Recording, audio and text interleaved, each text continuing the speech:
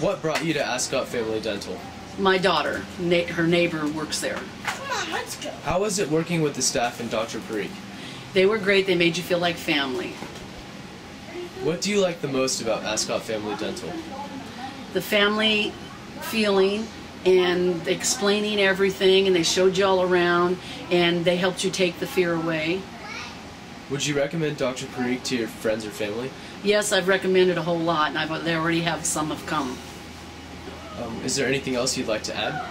Yes, I'd like to add that it, it my mother came. She's scared to death of dentists, but this dentist made her comfortable. She's looking into getting her teeth done now, and she's very happy with these people. And I want to say that be true to your teeth, and your teeth won't be false to you.